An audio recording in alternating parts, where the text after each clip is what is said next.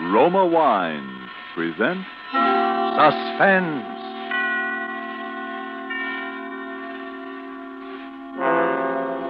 Roma Wine, made in California for enjoyment throughout the world.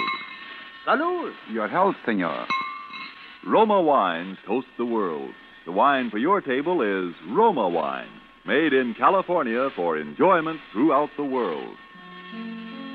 This is the man in black, here to introduce this weekly half hour of suspense. Tonight, as stars, we bring you two of Hollywood's outstanding actresses, Miss Ida Lupino and Miss Agnes Moorehead. And so, with the remarkable tale of the sisters, and with the performances of Ida Lupino as Lydia Haskell and Agnes Moorehead as Ellie, Roma Wines again hope to keep you in suspense.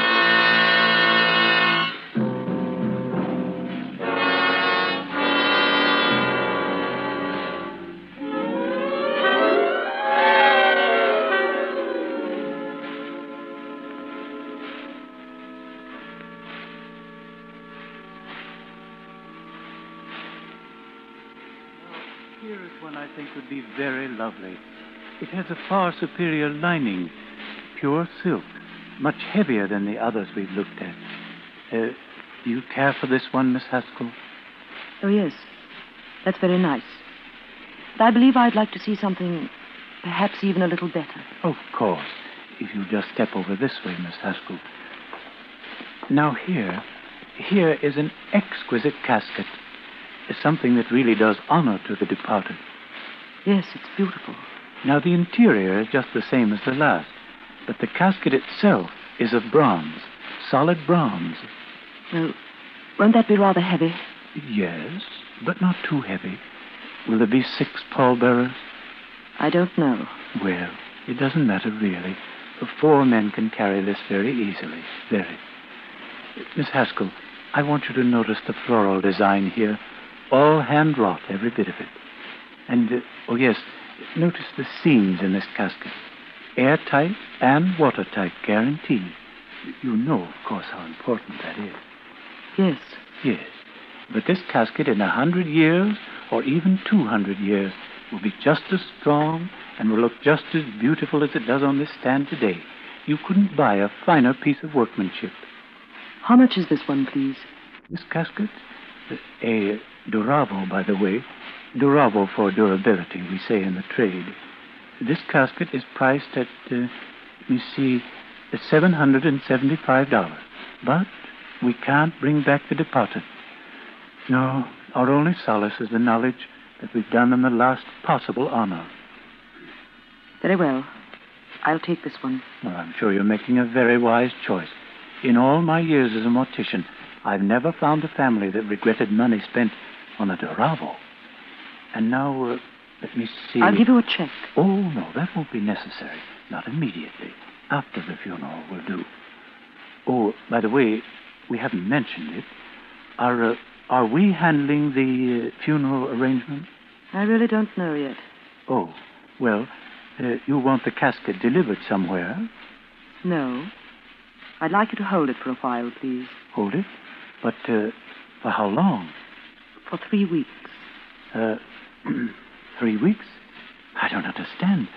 Who is the party? The deceased? Uh, who is this casket for? It's for me.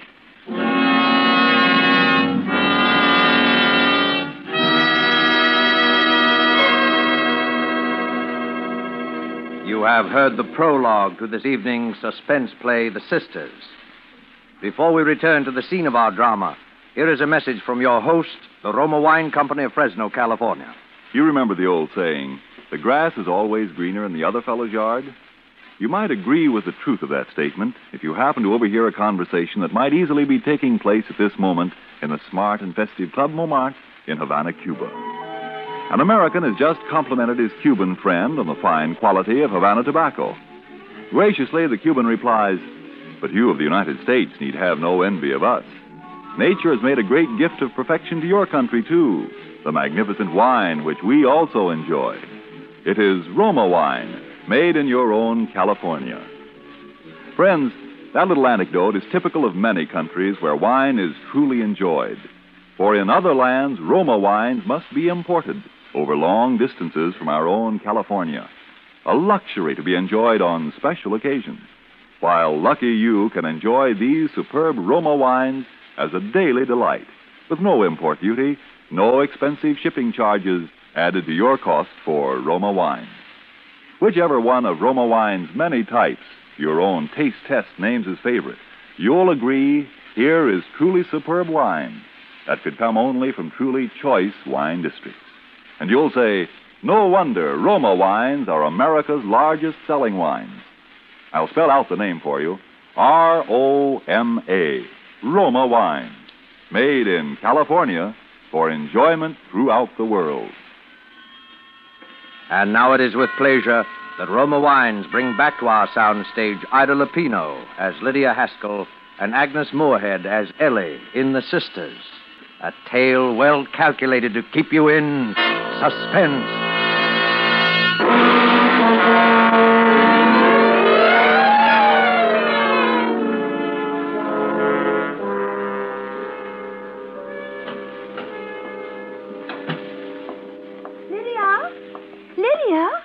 I heard you come in. Where have you been, Lydia? You've been gone all afternoon. I've been shopping. What did you buy? Did you get the ribbons I asked for? No, I didn't have time. Oh, I wanted some new ribbons. My others are all worn out. See, Lydia? Ellie, I wish you'd stop putting ribbons in your hair like a schoolgirl. You're almost 40 years old. I know, Lydia. I know. Well, then try to act like it. Hand me my sewing and light the lamp. It's getting dark. Oh, I wonder why we have to grow old. Wouldn't it be wonderful if we had always stayed young like we used to be? Oh, Lydia, remember when Mother used to send us to school with our ribbons matching and our dresses matching, and at the end of the day, no one would even guess we were sisters because I was always so mussed and you were always so clean? oh, I wish we were young again, Lydia. Stop talking nonsense, Ellie. It is nonsense, isn't it? Oh, oh, the doorbell rang while you were out just before you came home. You didn't answer. Oh, no, you told me never to answer it. I just looked out of the upstairs window. Did you see who it was? Oh, yes. It was a man, a rather big man. He rang a long time and then he went away. Well, he didn't see you, did he? Oh, no. I just peeked ever so carefully from behind the curtains. Then I came down here and watched him going down the walk. You came downstairs. Yes, I came- I told you never to come down those stairs when I'm not in the house. It was all right, Lydia. I held on very tight to the banisters all the way, and I didn't once look down the stairwell, so I didn't get dizzy, and I didn't want to jump. Well, don't do it again. It was just that I was lonely. I didn't think you were ever coming home. Lydia, you didn't tell me what you bought. Hmm? Oh, a Duravo. What's that? What's a Duravo? Don't ask so many questions, Ellie. All right. Lydia, I think I'll sew too. I could fix up one of these old ribbons.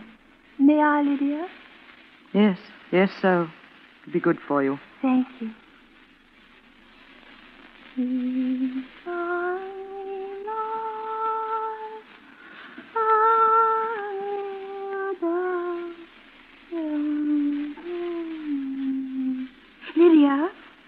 Yes. Lydia, could I go shopping someday? Don't be a fool, Ellie. I'm, I'm sorry. I just thought. No, I suppose you're right. It wouldn't do. Not yet. Mm.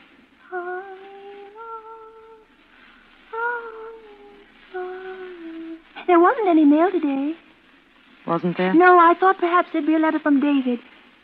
It's been such a long time since he's written, hasn't it? I haven't noticed. Oh, yes, he used to write every week on Tuesday. And I'd get the letter on Thursday. But there wasn't one this week or last or the week before that. It's strange, isn't it?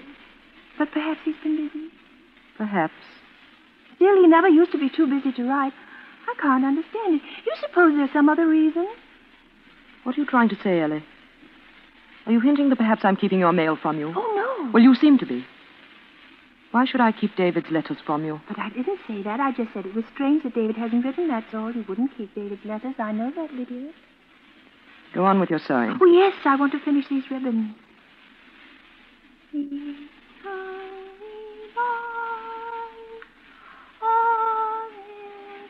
Stop singing that. Stop it. But, Lydia, it's a hymn. I've always sung. I don't care. I said stop. Or learn something else. That's all you sing, day and night, day and night. Same tune, over and over and over. Now stop it. Lydia, Lydia, sometimes you frighten me. The way you look at me, you make me think that, that perhaps I'm not getting well. Perhaps I'm still crazy. I'm not. I'm not still crazy, am I, Lydia? I'm not. Am Yes?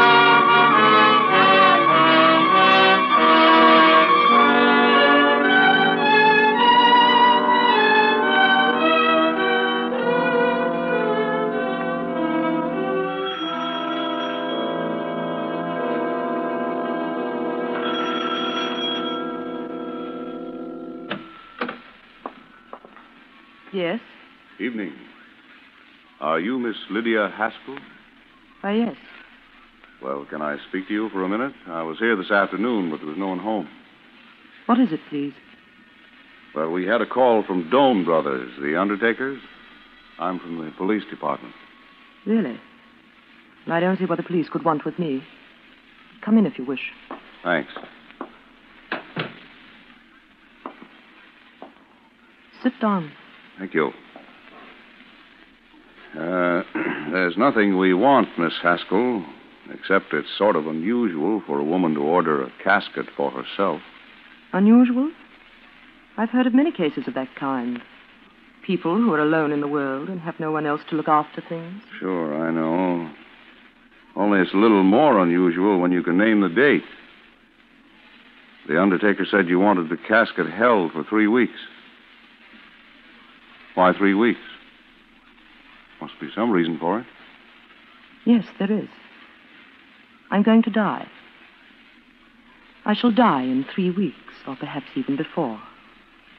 There's no doubt of it in my mind, and that's why I ordered the casket. You may call it a premonition if you want. Maybe I could also call it suicide. That's why I'm here, Miss Haskell. I don't know whether you know it, but suicide is a crime in the eyes of the state. For which there is no punishment. Not if it's successful, no. But there is prevention. You see, I know I'm going to die. I feel it. But I have no intention of taking my own life. There's no need to do so. Mm-hmm. Uh, Miss Haskell, this um, premonition, as you call it, have you any idea what what brought it on? No? You've been speaking to anyone? No fortune tellers or anything like that? No. Well, what makes you so sure? How do you know you can trust this premonition? You're not an old woman. I'd say you're in pretty good health. You have a lot of good years ahead of you. I have a religion. Not a church religion, just one of my own. It preaches that people go on living until they've outgrown their usefulness. Then they die. From one cause or another. When that time comes, the desire to live is gone. And you see, only desire keeps the body alive and breathing. I don't understand that. No, I'm sorry.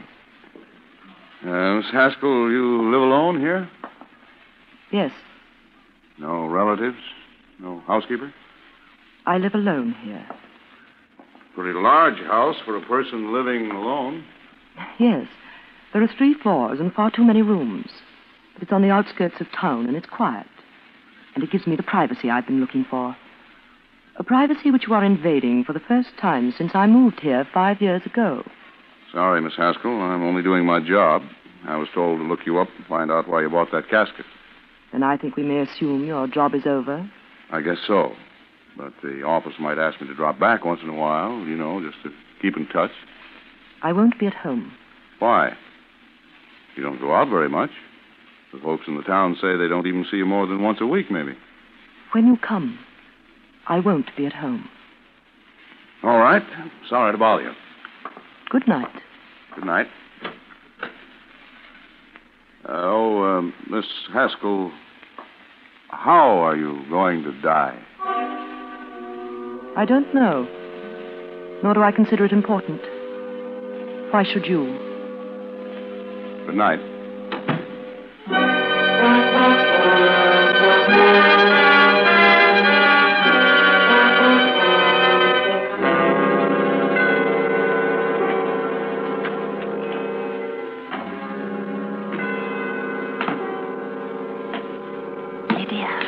Ellie, what are you doing down here? You're doing sitting on the steps in the dark? Lydia. Haven't I told you never to come down here at night? Lydia. Or what do you want? I heard that man who was here. Lydia, why did you buy the casket?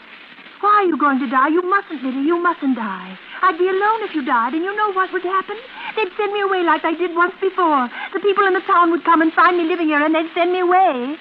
Go up to bed, Ellie, and go to sleep. How can I sleep? Oh, Lydia, you won't die. Promise me you won't. I promise you. I'll go to bed. But why did you buy the casket? And the things you said to that man as if you wanted to die. Why, Lydia? Why do you want to die? I don't want to die. No one does. No, you have such a lot to live for, haven't you, Ellie? Yes. I've been happy, Lydia. You've made me happy. And someday when I'm well again, I'll go back home and David will be waiting for me. You know he'll be there. You've always told me he'd be waiting. And he'll see that I'm well again and he'll take me back. I'm not so old, am I? David won't see me as old. He told me that when I was well, no matter how long it took, he'd still see me as a young girl. That's why I've been happy. Just waiting for the time I can go back to David. Ellie, haven't you learned yet? Don't you know yet that you're mad? And that you'll always be mad? No, don't say that. I'm getting better, Lydia. You know I'm getting better. Yes.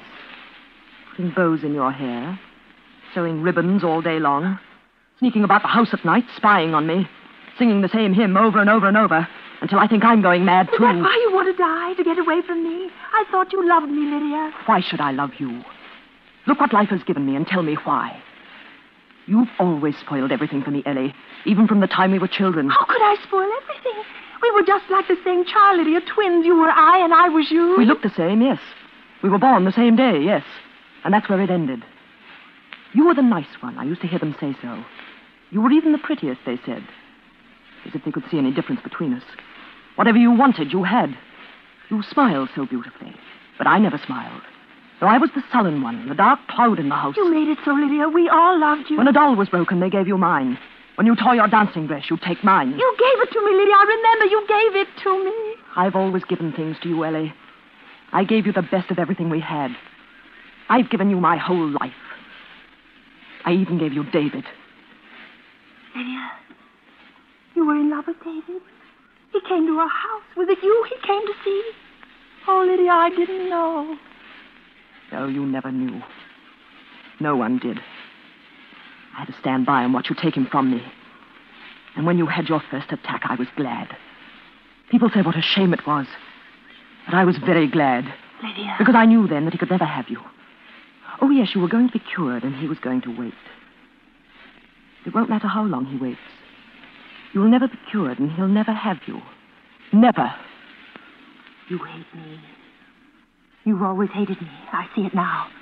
Even when you've been taking care of me. When we came to this town, you didn't bring me here so I'd be cured. You wanted to keep me this way, mad. That's why we. You took me out of that place because they might have made me well again. Go upstairs. You hate me, and now you're going to die and leave me without anyone. I told you I'm not going to die. Oh, Ellie. Ellie, I'm sorry we've had this quarrel. I didn't mean to upset you. It's just that I'm upset myself, tired. I didn't mean the things I said. You bought a Well, it was only an idea I had in case anything ever happened You to bought a me. casket. Lydia, was it for yourself or is it for me? Ellie, You wouldn't. You wouldn't, would you, Lydia? what are you talking about? Hold the lamp up. Hold it close to you. I want to see your face. Ellie, go off to yes, bed. I can see it in your eyes. It is for me. You're going to kill me. You're going to murder me. Don't be a fool, It's Ellie. true you want to get rid of me because you hate me. You. Oh, now I see. I see you love David. You're going to kill me, and they'll come and find me and bury me, and they'll think it's you. Be quiet. They'll think it's you who is dead because no one knows I'm living here, and then you'll go away. You'll go back to David, and you'll say that Lydia has died, and he'll think you're me, and that you're well again, and he'll marry you. You'll have him. You'll be Ellie. You'll have David in my place. Ellie. Ellie, stop it. Did you hear what I said? Be quiet. Be quiet. I'll go upstairs and get to bed. Oh, Lydia, Lydia, how can you be so wicked?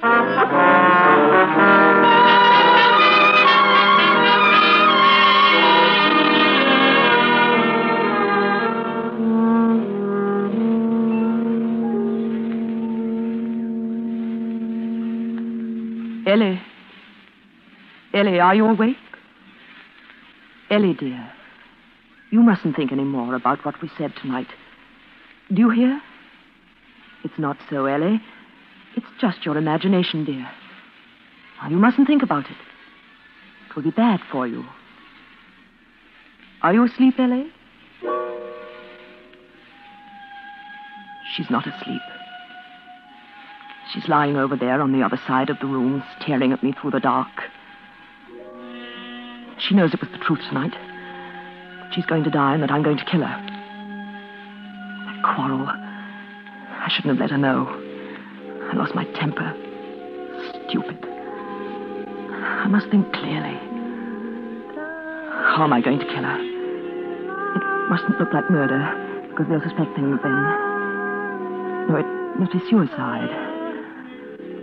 How? When? It'll have to be soon now that she knows.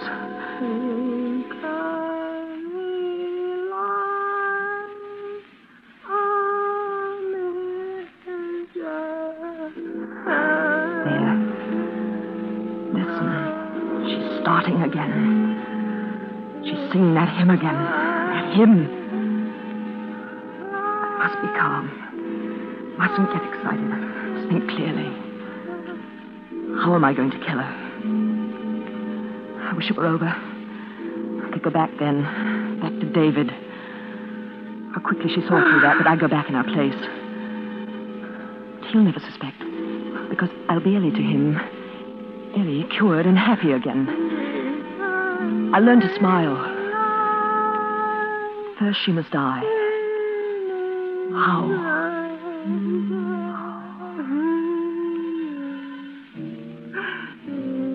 Stairs. Stairwell. She gets dizzy if she looks down into the stairwell. Yes, it'll be so easy. In a day or two, that policeman will come back to the house. They'll find her, and they'll think it's me. Of course. The stairwell. Three floors from the attic here. Three floors straight down. So easy when you think clearly. The stairwell. Of course.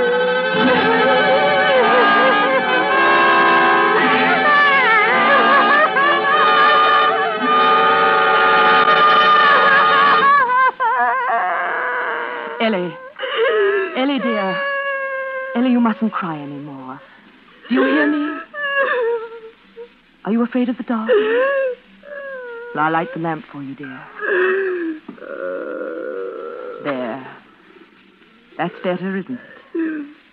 Why, you're shivering. Are you cold? Well, come along, put your wrapper on. We'll go down to the parlor and light a fire. And I'll make you a nice cup of hot milk. Come along, Ellie. No. Oh, Ellie, stop acting like this. Now come, dear. Here's your wrapper. Put it around your shoulders. That's the girl. Get up now. I'll carry the lamp. Give me your hand, dear. Oh, you're as cold as ice. Now be careful. Walk slowly. There we are. Now hold on to the banisters, dear. That's right. I'll hold the lamp up high so that you can see better. I'm afraid. The stairwell. It's right here, dear. You see. Oh, Ellie. Ellie, you must get over that fear. Look, Ellie. Just look down. There's nothing to frighten you. Look down the stairwell, Ellie. No. I'm holding you, dear. Just lean over and look down. You can see all the way. No, don't make me look. Don't make You me. You see? Nothing, is it? Nothing at all. No. Are you dizzy, dear? I'm holding. Let me go. I can't stand it. Come closer, dear. No. Closer, Ellie. No. Lean over. No. Just look no. at her. Do you hear, Ellie? Let me get back. Look, Ellie. No. Look down. No. Now, Ellie. No, now, go. Ellie. Lean No. over. Look down, Ellie. Look down.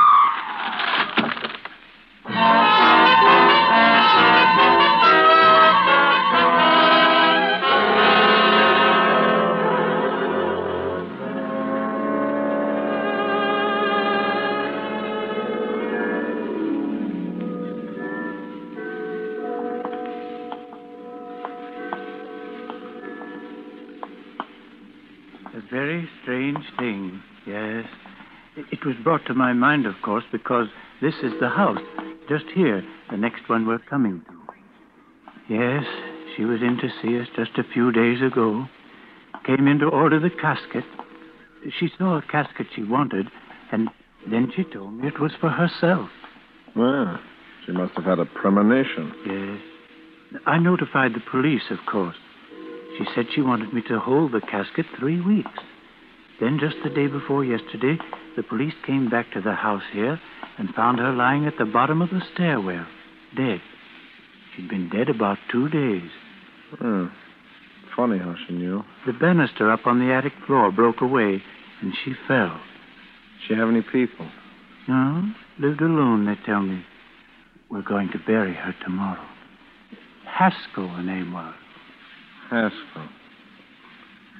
That's strange, living all by herself here in a big three-story frame house. Yes, isn't it? Hey, What is it? my imagination, I guess. I could have sworn I saw a light in the attic window just now. Well, it couldn't have been. The police have shut it up. Of course. That story of yours really gave me the creeps. Come on, let's walk on. Hmm. What a queer thing the power of suggestion is, to be sure. You've conveyed it to me, of course. You know, just now I thought I could hear someone upstairs in there. A woman. A woman singing. A woman? Yes. Sort of crooning to herself. Some kind of a hymn.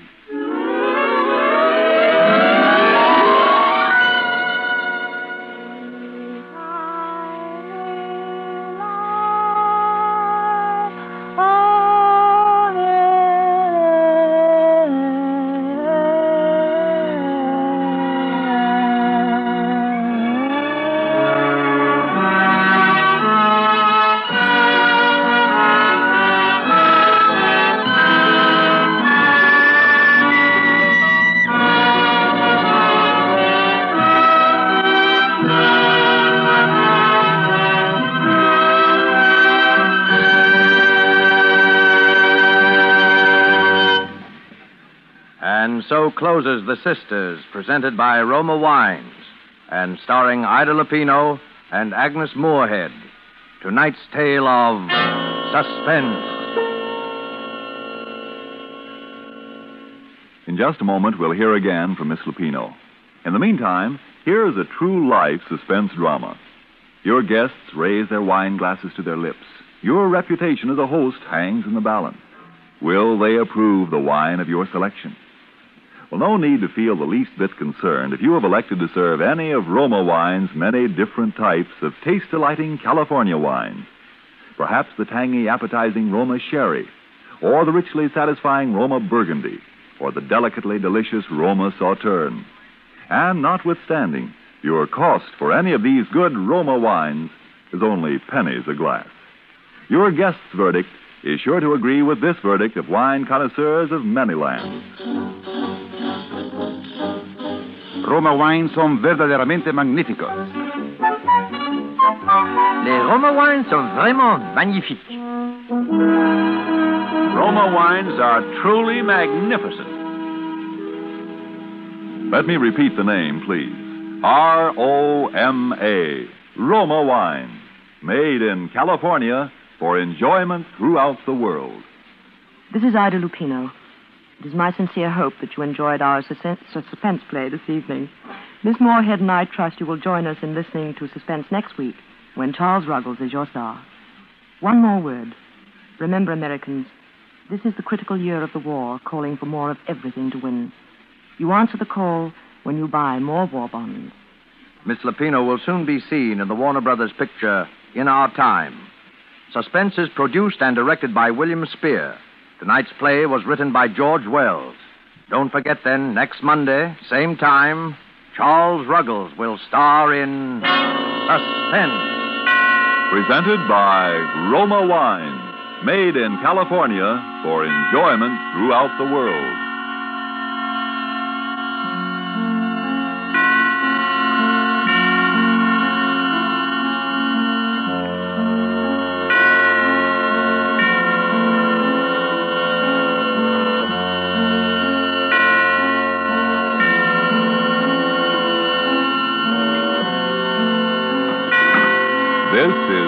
CBS, the Columbia Broadcasting System.